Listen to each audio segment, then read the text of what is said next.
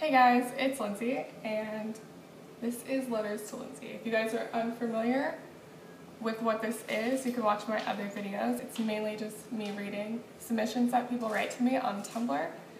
And since my last one, I've gotten a lot of submissions, and I want to thank you guys for that because I really do like helping you guys. And also, if I have helped you, or if you've passed my video on to somebody else who was dealing with the same thing, and it helped them, please let me know. Like you could let me know like in a comment below or on Tumblr, anything you want. I just want to know that I'm helping and doing something right in the world. Okay, so I'm just gonna get started with this one. Okay, dear Lindsay, my family planned on moving but found out that plans have changed. I already enrolled myself in college to the city we were going to move to thinking we would.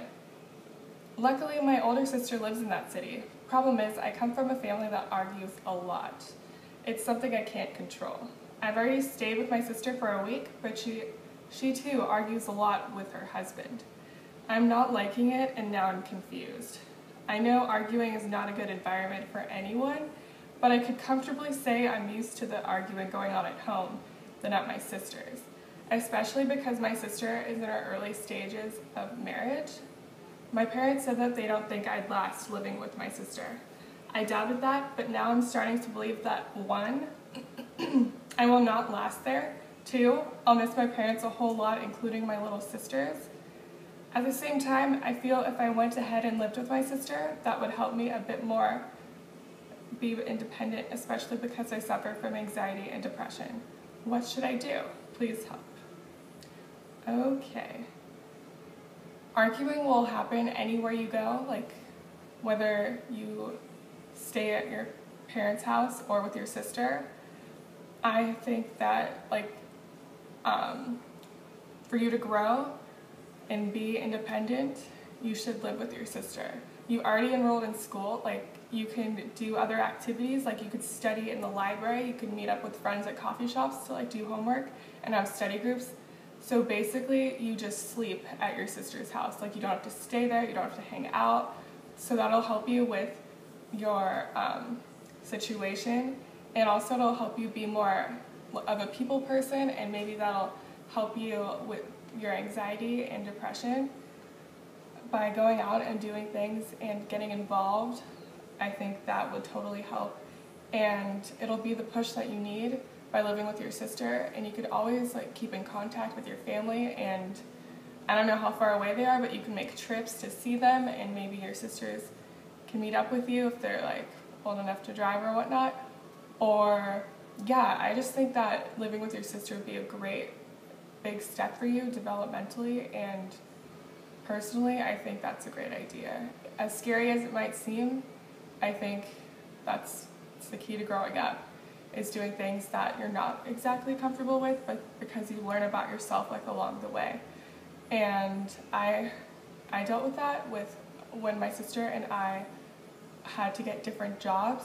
We were both like, I thought myself as like a unit, like Lindsay and Jessica.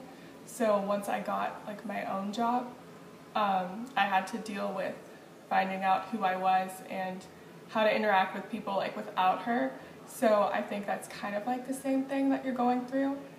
Uh, yeah, so I'm thinking that would be a great idea if you lived with your sister because you're already enrolled in college. Like, that's what you need to be doing. I feel like it's a great, it's a great start to knowing who you are and like finding out who you, who you are through those experiences, through the new. And yeah, I hope that helps. And here we are with the next one.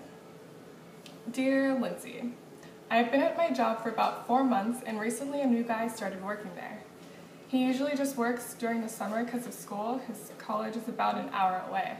I find him quite attractive and he's the first guy I've had interest with on since my breakup, but I don't know how to approach him without being weird or creepy, lol, and still keeping it professional at work. I'm 20 and he's 21 years old. Any advice? Okay, I would say definitely ask him to hang out. Like, I don't know where you guys work, but like ask him to coffee, ask him like what he's doing after work, if he has any plans, stuff like that. And actually, it wouldn't be weird or creepy. And maybe he might even like that because you're asking him out he's not having to do that part of the work, you know what I mean? And yeah, like you could ask him, like, yeah, just talk to him, find out who he is, and maybe you guys have a similar interest, or maybe there's something that you're going to and you can invite him along, you know? And because he's probably feeling the same way, he doesn't know how to like come and talk to you. And you said he's new there, so he probably doesn't have many friends at your workplace yet. So you could be like, oh, me and so and so are meeting up after work. Like, do you want to join?